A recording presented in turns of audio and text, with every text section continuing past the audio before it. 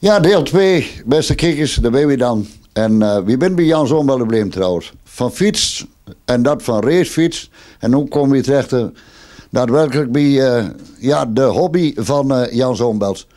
Want Jan Zombelt, bekend in de gemeente Ollebroek en ook bij de buiten als een echte motorracer. Maar hoe kwam hij bij de motorracewereld terecht eigenlijk in het verleden? Nou, dat was op zich niet zo moeilijk.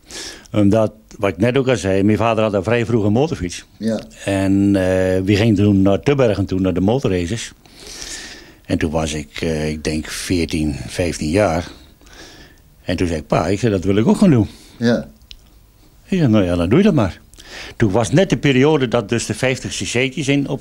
Ja, dat, dat, dat begon te groeien. En dat leek me wel leuk, omdat dan kon je met een bestaand ding, met een bronfietsje, kon je dus aan de gang om dat te tunen, op te voeren, en door dus een race mee te maken. Nou, maar het nadeel was dat je een rijbewijs moest hebben. Dus ik mocht niet eerder rijden als dat je 18, 19 jaar was. Maar dat was toen nog de verordening bij de KNNV. Je moest eerst een rijbewijs hebben. Tegenwoordig zijn die jongens met 11 of 12 jaar rond die 300 kilometer loopt. Maar dat is een heel ander verhaal. Ja. Dus uh, toen ben ik met bronfietsbouw begonnen. Ik ben met een HMW'tje begonnen om dat op te voeren en te doen. Eerst een Spartaatje. Ik had eerst een Spartaatje gemaakt, helemaal sportief, helemaal raceachtig. En toen ging ik nog naar school toe. En dat ding, je liep mooi, want voor toen liep het toch een 75, 78 kilometer. Ja. Maar ik kom een keer weer van school. En ik kijk er rond. Ik zeg, waar is mijn bronfiets gebleven? Hij zegt, hoe bedoel je dat, zegt mijn vader. Ik zeg, wat is dat spuituitje? Hij zegt, ik verkocht. ik zeg, nou, dat is mooi dan. Ik had het net, dat ding aan een ander carburateurtje opgezet. Voetschakeling op maak. Hij zegt, maar dan maak je maar weer wat anders. Ja. Hij zegt, ik kon hem goed verkopen, maak maar weer wat anders. Ik zei, ja. Hij zei, bestel maar een motorblokje. Hey, wat wil je hebben? Ik zei, nou, doe maar een HMW. Maar dat was toen met drie versnellingen al. Dat was al heel wat. Dus dat is eigenlijk het eerste racetje geworden. Waar ik mee in Tubbergen zo gaan rijden. Ondertussen had ik, eh, toen was ik 17, 18 jaar. Ik was bezig met, met de rijles. Kreeg ik mijn rijbewijs. En toen zal Tubbergen de eerste wedstrijd worden. Maar die hoorden zulke verhalen hier in de buurt. Want overal waren wat jongens bezig met die racerij. Die zeiden, ja, maar die is Zwolle, Jan Klein, die giet zo hard. En die heeft dit en dit. Ja, ja. Denk, denk, ja. maar ik denk, constant proberen, constant doen. Zelfs heeft me de politie nog een keer opgemeten hoe hard of ging. Ja. Maar toen word ik trapeerd op zaterdagmiddag om te rijden op de boven Heigraaf. En er staat de politie te wachten. En zeg, oh, ben je weer aan de gang? Ik zeg, ja, maar ik moet is zo en zo. Ik zeg, maar ik wil eigenlijk weten hoe hard of dat ding loopt. Je hebt er een goede teller op zitten. Ik zeg, ja, maar dat kan ik niet maken. Ik zeg, ja, dat kunnen we. Riem een stukje achter me aan. Doe je net als je na zit. En waarachtig, hij deed dat. dus ik reed weg. Nu hadden ze nog 2,5 BMW's, die liepen niet zo hard. Maar ik was eerder bij de school, maar dat was bij Jan van der Bosweg. Ik was eerder bij de school. Als ja. hij met de motorfiets was. Zeg, wat loopt dat ding uit? Wat loopt dat uit? Ik zei, nou valt nog wel mee. Ja. Maar zo'n HMW'tje liep toen toch een 90 kilometer al. Dat was, vergeet niet, dat was 60 jaar, hè? begin 60 ja, jaar. Maar goed, eh, toen komt de rijder aan. En mijn vader ging er naartoe. En ik wist dat niet. Hij komt dus weer. Hij zegt, uh, je moet er morgens naartoe gaan. We hadden toen een jongen aan het werk, Eb van Hattem. En uh, hij zegt, gaan jullie maar naar de rij toe met je beiden? Hij zegt, er staan zulke mooie bronfietsen bij. Hij zegt, en dan moet je ook vooral bij de ene stand kijken. Bij Jan Jonker was dat, die ook wat met HMW deed. En daar kwam er weer wat voor onderdeel. Dus we komen op de rij. En er staat een mooie racer, van Benelli Racers. Drie op een rij, ik vergeet het nooit weer. Nee. Dus ik ga er niet. Ik denk, nou, nou, nou, dat is wat. Komt er naartoe. Komt Jan Jonker aan. Zo zeggen, ben jullie er ook? Ja. Hij zegt, kijk je vader hier gisteren ook? Ik zeg, ja, dat kan. Hij zegt, wat vind je daarvan? Ik zeg, ja, dat is geweldig. Ik zeg, hij ook een folder van? Nee, zeggen, je hebt er geen folders van. Dat hebben we niet. Hij zegt, maar kijk maar eens rond op de rij. En dan kom je tegen de middag, of wanneer hij weggaat, komt nog maar even langs. Hij zegt, want ik heb nog iets voor Hij zegt, dat, dat, dat overleggen we weer. Dus wie komt in een uur of twee, half drie, komt weer bij die stand. En uh, hij was bezig met de klant, dus we wachten even. Kom het eraan. Hij zei, nou wat denk je ervan? Hij zegt, ga je nu... Er staan er nog wat. Hij zegt, ga je nu een kleur moest kiezen? Hij zegt, wat zou je dan wel nemen? Ik zei, nou Italiaans, rood. Er stonden gele en twee rode. Ik zeg, rood. Ja, hij zegt, ja. Hij zegt, maar wat zou je dan van denken hij van de week dat ding thuis had? Ik zeg, ben niet wel goed. Hij zegt, je vader heeft gisteren zo'n ding gekocht. Hij zegt, die krie. Zonder dat we wisten? Zonder dat we het wisten. En door hem sturen ons door naartoe natuurlijk, om eens te zien hoe of wat. Nou ja, je wist niet wat je overkwam. Dus mijn eerste wedstrijd was niet op een HMW, maar dat was op een Benelli. Ja. Zit ook een heel verhaal aan. Toen we dat ding in moesten rijden, een ongeluk had, toen ging dan mijn, nu mijn, mijn vrouw toen, maar mijn, mijn meisje toen naar Zeeland toe, moest ze in de rij worden. Vlieg ik over de kop met ding. Ach ja. 14 dagen voordat Tubbergen was, hele toestand, maar goed. Dus mijn eerste wedstrijd was in Tubbergen op een Benelli in 1962. Mijn raceperiode heeft 12 jaar geduurd. En wat ik ook al zei, we werden dus bij die opleiding bij de nodig. En toen kwam Sax met het eerste motortje met vijf versnellings voetzageling. En iedereen zei, ja, maar dat is niks voor de racerij. Zelfs bij Sax zeiden ze dat. Ja. Ik zeg, maar stuur me toch maar zo'n motorblok. Nou, dat is dus gebeurd. En vanaf dat moment heb ik altijd met Sax gereden. Dat was het blok. Dat vond ik het blok. Maar dat was ook een kwe- een kwestie van een klein beetje eigenwijsheid. Want iedereen reed met Kreidler. En ik wil geen Kreidler. Ik wil eens wat anders. Ja. Dus laten zien dat je ook met, met wat extra werk, met wat tuning, ook met een saxje net zo hard kan gaan als een Kreidler. Dus dat was het ook wel een beetje. Nou, En Jan kennis van dat blok natuurlijk. ja, ja, ja, het was ook een heel mooi blok. Ik heb er zelf nu nog een stuk of wat, want omdat we nog met die demo's bezig zijn. Ja. Zelfs heb ik nu nog wat van die blokken. Ik kom nog wel eens wat oude dingen tegen die ik nog gemaakt heb. Jannes de Bommoed heeft nog eens een keer zo'n ding van Klopt, gehad. klopt. Ja, heeft ook nog eens een gehad. En zo bent er verschillende eh, toch wel in omloop geweest. Er waren meerdere jongens die met sax reden, maar de meesten zijn er toch mee gestopt. Omdat ze toch...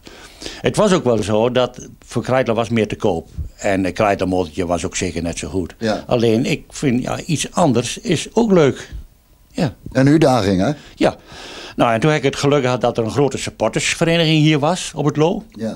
Die jongens die kwamen door bloemenverkoop, buzzards, bingo's en alles. Hebben ze zoveel geld bij elkaar gesjouwd dat ik dus een 125 kon krijgen. Want Ja. qua postuur en, en, en, en gewicht was ik niet geschikt voor 50. Want dat Nee, want die won steeds groter. nou, ik werd niet steeds groot, maar ik was een stuk groter als, als de andere Ja, jongens. ja.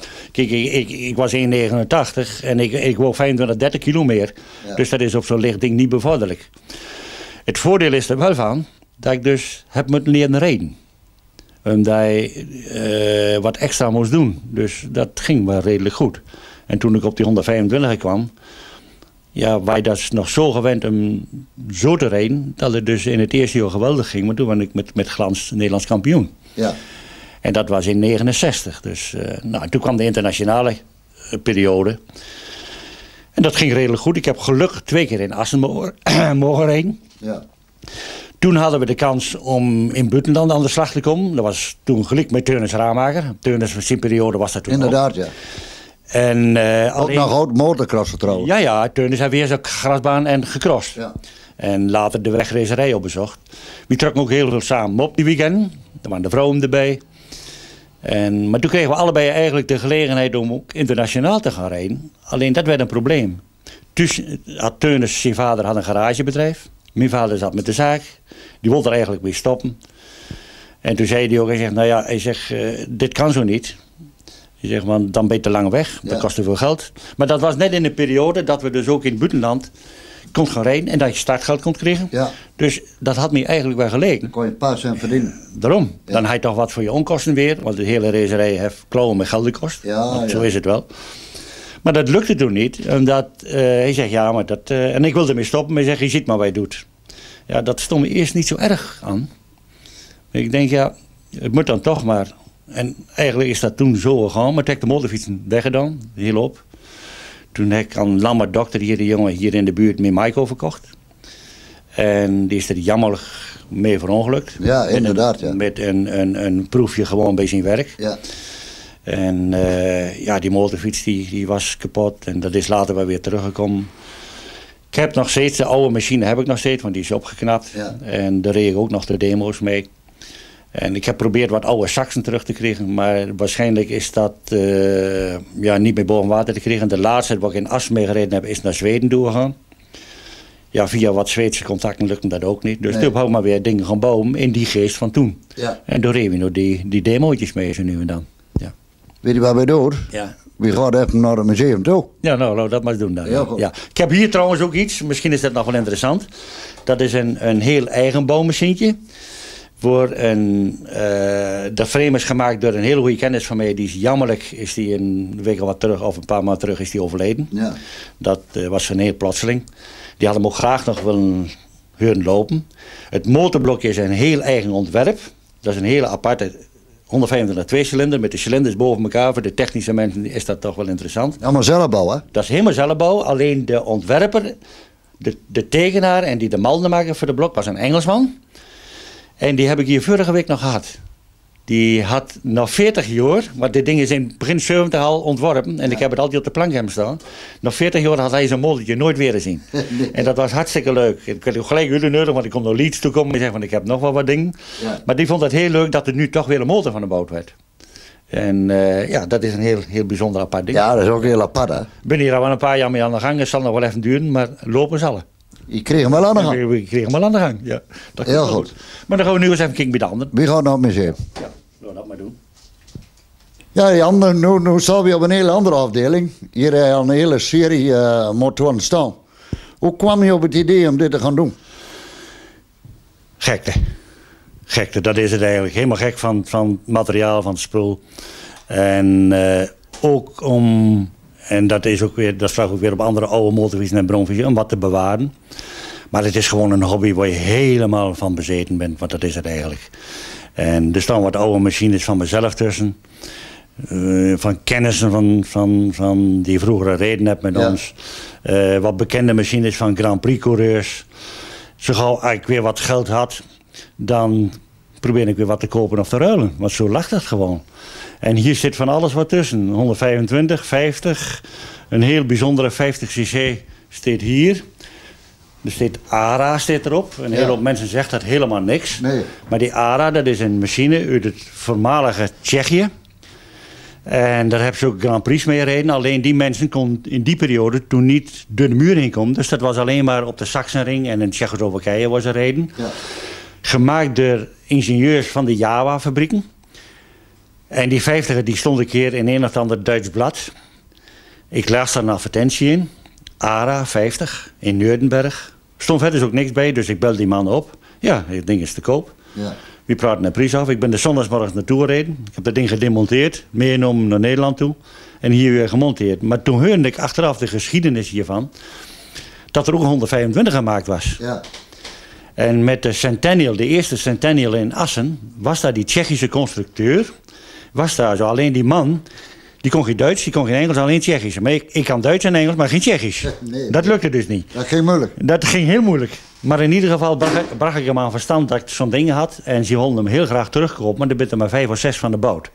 Ik zei, nou ja, misschien te zijn de tijd. Ik zeg, maar voor eerst niet. Ik zeg, maar hoe zit dat met die 125ers? Hij zei, ja, ja, weet ik niet. Hij zegt, uh, je bent allemaal weg. Ja. Hij reed dan zelf nog wel met een oude.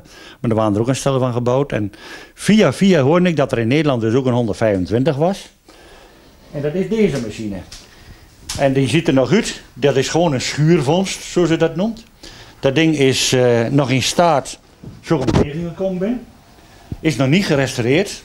Want de tijd dringt door een ja, dat ik dit kreeg. Dat ik dit kreeg, dat ik dat soort dingen nog kan gaan doen. Maar dit is de opbouw precies hetzelfde als van de 50, alleen een 125 uitvoering. Geweldig aparte machine. Het is, geen, het is geen fabrieksmachine, maar het is wel iets waar historie in zit. Ja, ja dat kun je wel zien. Hè? Wat heel bijzonder is. Ik ben Grand Prix mee gereden. Hier is mee gereden tot eind 1980. Ja. Zo lang is hier nog mee doorgereden. Heel bijzonder. Dan staan hier nog wat aparte dingen. Dat is van Duitse Grand Prix coureurs. Dat was Duitser, Gert Bender heette die man. Er waren allemaal eigen bouwconstructies. Waar ze dus ook mee in de Grand Prix racerij voor inreden. Daar hebben we een goede kennis van mij, Pierre Sacchini. Heb ik een paar jaar nog begeleid. Dat was een Franse kennis van mij die hier in Nederland kwam.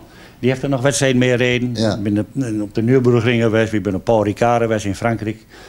Ja, dat ging geweldig goed. Die jongen die werd toen in 76, toen het zo bloedwarm was in Assen, werd er door 11e mee.